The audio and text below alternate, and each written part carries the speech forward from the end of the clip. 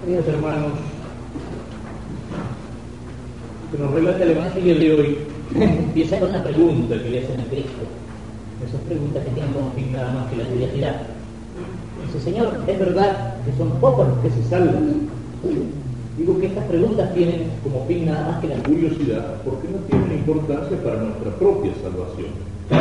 A veces precisamente en aquellas cosas que llamamos, en aquellas realidades que llamamos los novísimos, es decir, las realidades finales del hombre, sobre todo en aquellos novísimos que miran más allá de la muerte, estamos llenos de curiosidad y hay un montón de cosas que quisiéramos saber. ¿Cuáles son los novísimos? Muerte, el juicio, el infierno y la gloria. Eso es lo que Dios ha revelado. Y eso es lo que tiene importancia para nuestra salvación. Nosotros sabemos que esta vida aquí en la tierra un día se termina. Bueno, eso es la muerte. Y que después de la muerte tendremos que presentarnos delante del juicio de Dios. Y que Dios nos va a pedir cuenta cómo hemos vivido aquí en la tierra. Es decir, cómo hemos usado aquí en la tierra todos los dones que Él nos dio. Y de acuerdo a cómo hayamos vivido aquí en la tierra, nuestro destino final será la gloria o el infierno. Eso es lo que Dios ha revelado. Y eso es lo que es suficiente para nuestra salvación.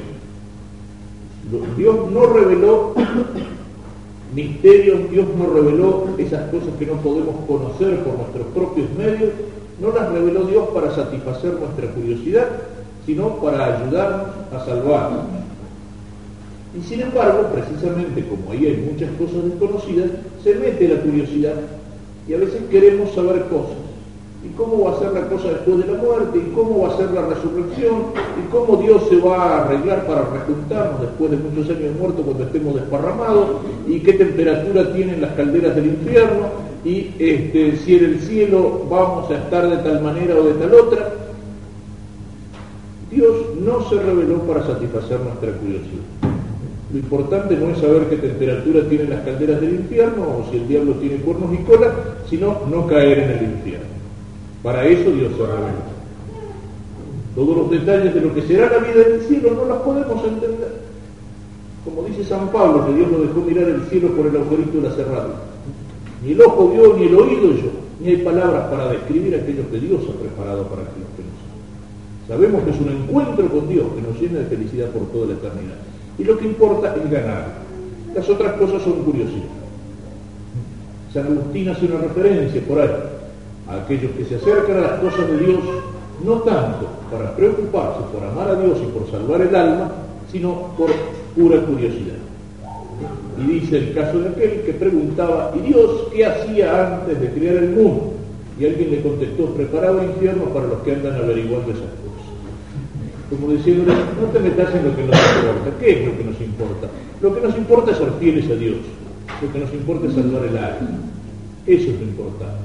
Lo que nos importa es saber que con la muerte no se termina la vida del hombre, sino que se transforma. Y que esa transformación, de acuerdo a cómo nos hayamos portado, puede ser para bien o puede ser para mal.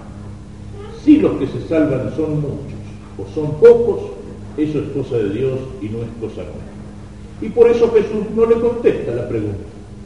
Señor, ¿son pocos los que se salvan? Jesús no contesta la pregunta. Jesús le dice, traten de entrar por la puerta estrecha. Le dice, hay dos caminos en la vida.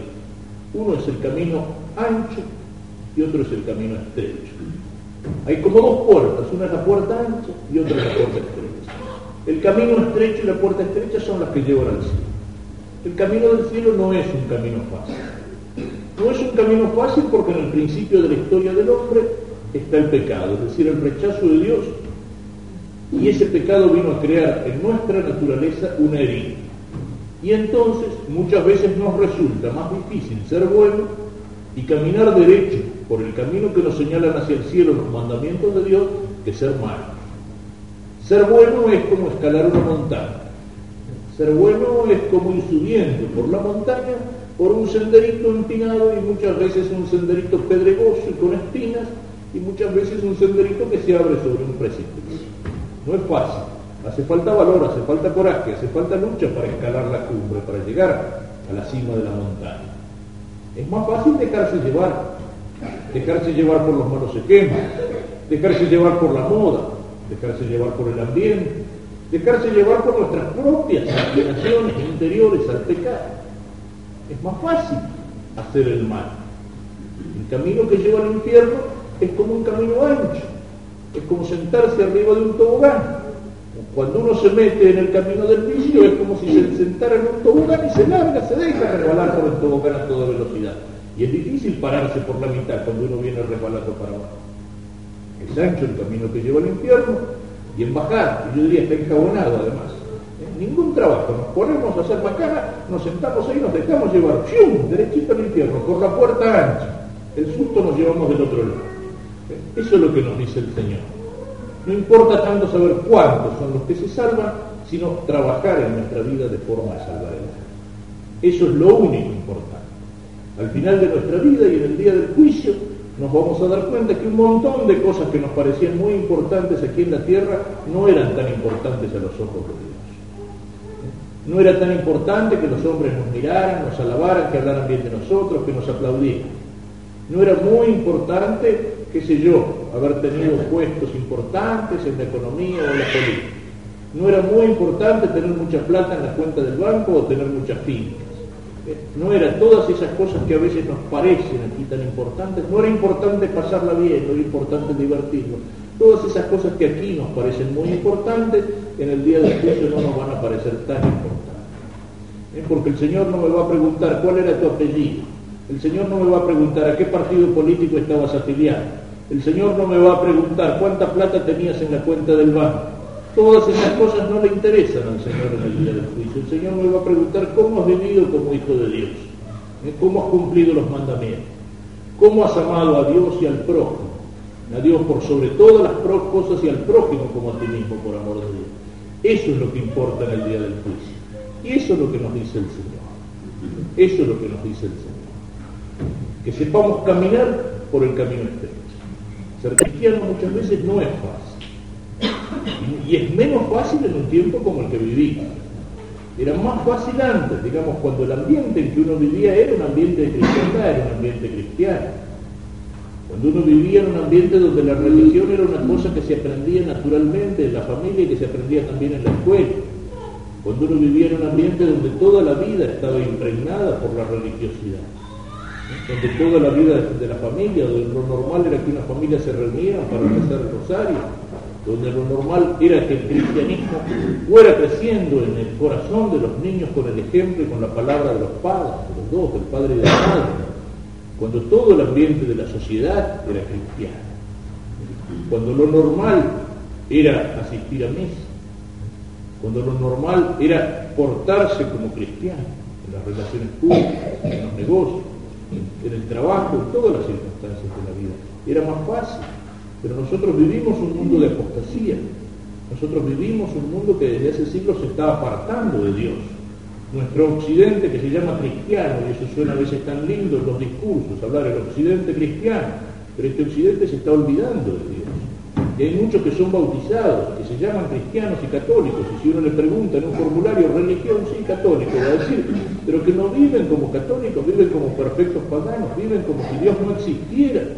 Hay muchos que se llaman cristianos y que se llaman católicos, pero después más vale perderlos que encontrarlos, porque no se portan como cristianos. ¿eh? Porque si tienen un negocio son unos perfectos sinvergüenzas, porque si tienen una lengua más que para rezar la usan para sacarle el cuero al vecino o a la vecina. ¿Cuántos son los que no viven como cristianos, como católicos? Y un ambiente, digamos, donde empezando desde la escuela silenciosa hasta terminar por los medios de comunicación, por la radio, por la televisión, por los diarios, por las revistas, están llenos de mentiras, están llenos de ataques a veces insidiosos contra las cosas de Dios.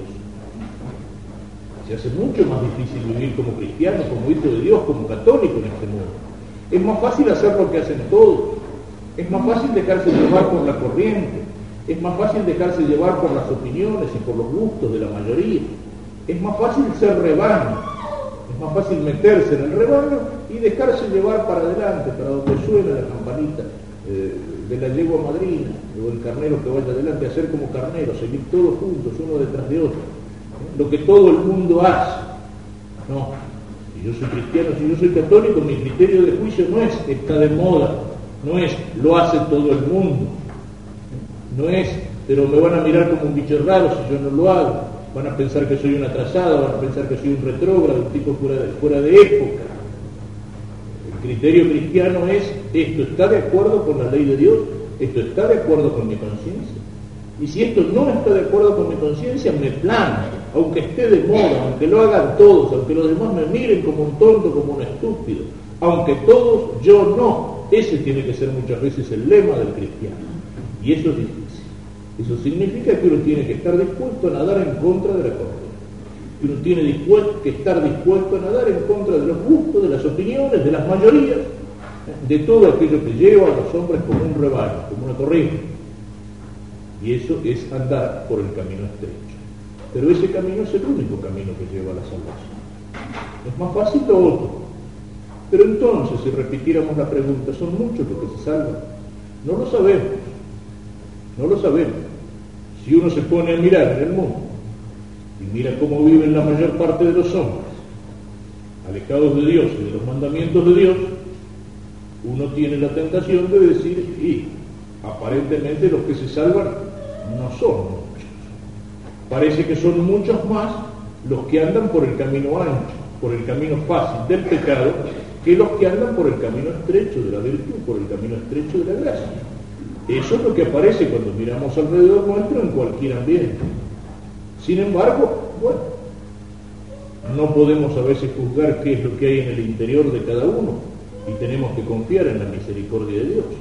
Sí, por cierto, la misericordia de Dios es muy grande y Dios quiere que todos los hombres se salvan y Dios se empeña a fondo para que se salven. Y basta a lo mejor un momento de arrepentimiento después de una vida de pecado, como en el caso del buen ladrón. Toda una vida de pecado. Era buen ladrón no porque fuera bueno, sino porque era bueno como ladrón. Por eso había terminado en la cruz. Y como dice alguno de los santos padres, ahí consumó su carrera de ladrón porque se robó el cielo. Pero bastó que este hombre le dijera a Cristo unas palabras, Señor, acuérdate de mí para que Cristo le dijera, hoy estarás conmigo en el paraíso. Podemos tener confianza, confianza en esa misericordia de Dios. Dios reconoce en un hombre pecador un gesto de arrepentimiento, un gesto de conversión, un pedido de penitencia. La misericordia de Dios llega a veces hasta el último momento en el hombre. ¿Cuántas veces tiene experiencia de eso el sacerdote? un moribundo que ha llevado años y años apartado de Dios y uno lo encuentra en el hospital y en ese momento lo toca la gracia y pide la confesión y en la confesión humildemente se arrepiente de todos sus pecados. Dios le tuvo paciencia hasta el último momento y a último momento le abrió las puertas del cielo. No sabemos, no sabemos. Aparentemente los que viven lejos de Dios y los que no viven como cristianos son la mayoría. Se condenan todos, no sabemos, la misericordia de Dios es muy grande muy grande y Dios quiere que los hombres se salven y Dios hasta el último momento de nuestra vida nos está tendiendo la mano. Pero tampoco podemos caer en el error opuesto. Dios es misericordioso, pero Dios es justo también. Dios es bueno, pero no es tonto. Dios nos ofrece la misericordia, Dios nos ofrece la salvación, pero esa mano de Dios que se nos tiende nosotros tenemos que tomarla para dejarnos salvar. Porque si no, al que no quiere salvarse, ni Jesucristo lo salva. Cristo murió por todos los hombres. La sangre de Cristo, una gota de esa sangre de Cristo alcanza para lavar todos los pecados del mundo. Pero para que la, sangre de Cristo lave mi alma pecadora, es necesario que yo me ponga debajo de la cruz. Es decir, es necesario que yo me ampare en la misericordia del Señor. Es necesario que yo me arrepienta de mis pecados.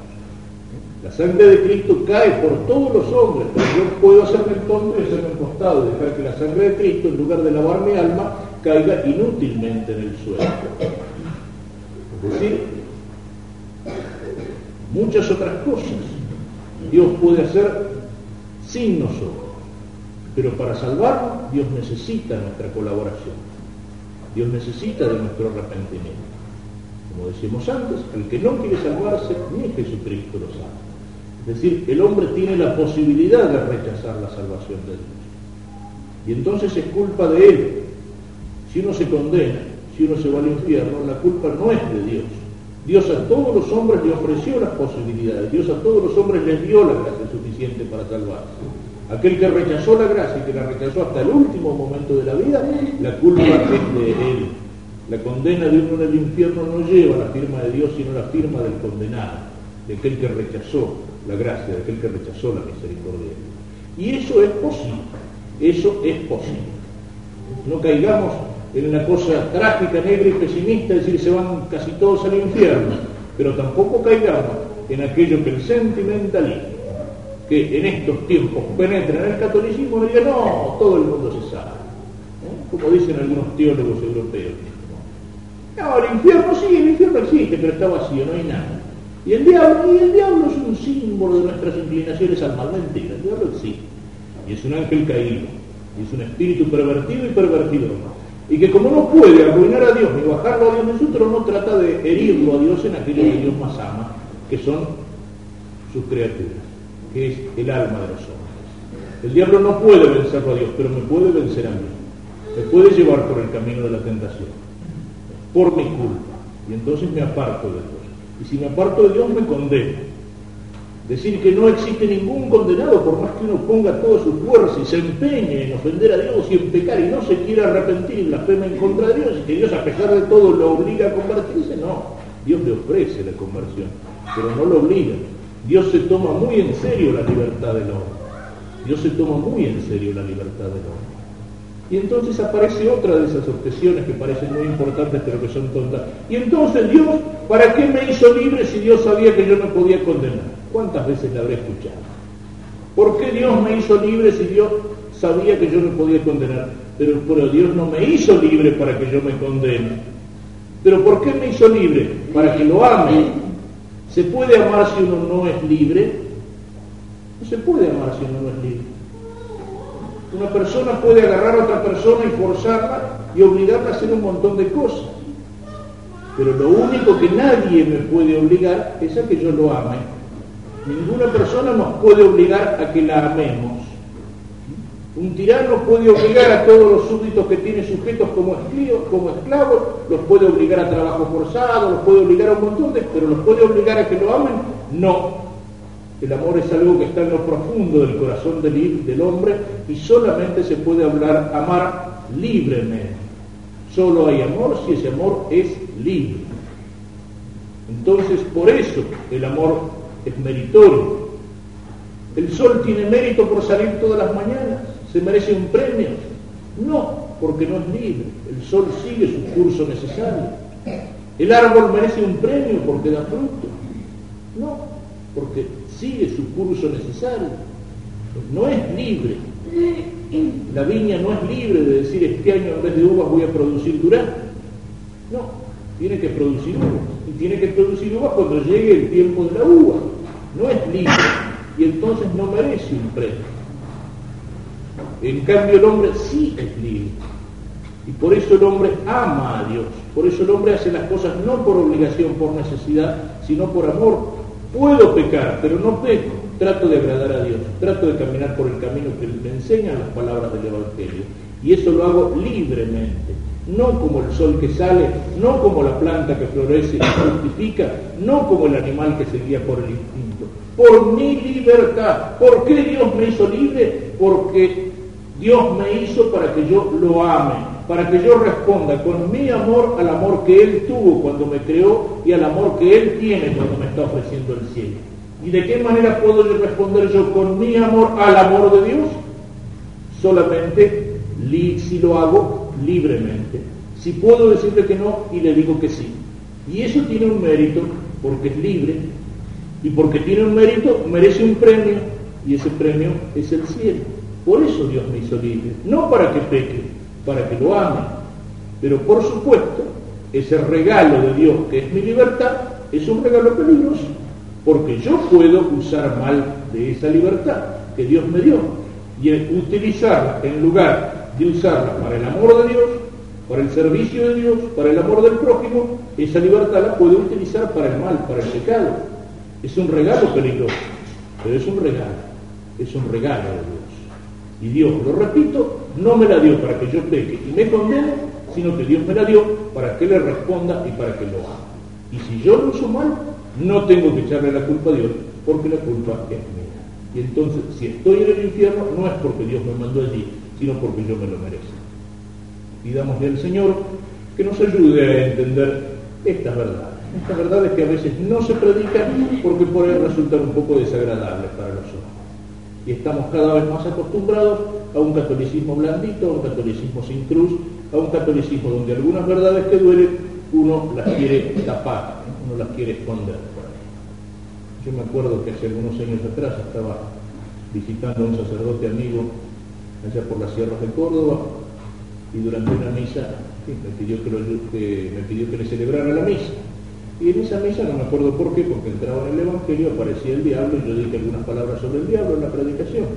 Y después me contaba el cura que él estaba confesando y que había dos señores que estaban parados ahí al lado del confesionario y que cuando yo hablé del diablo uno le pegó un codazo al otro y dice, che, dice, el tiempo que hace que no escuchaba hablar del diablo en la iglesia.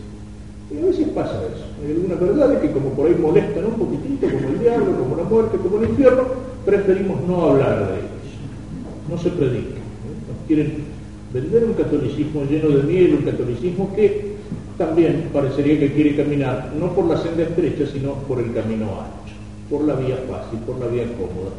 Pero esa no es la vía que Jesucristo nos señaló. Pidámosle al Señor que nos ayude a entender esto, pero que nos ayude sobre todo a vivir.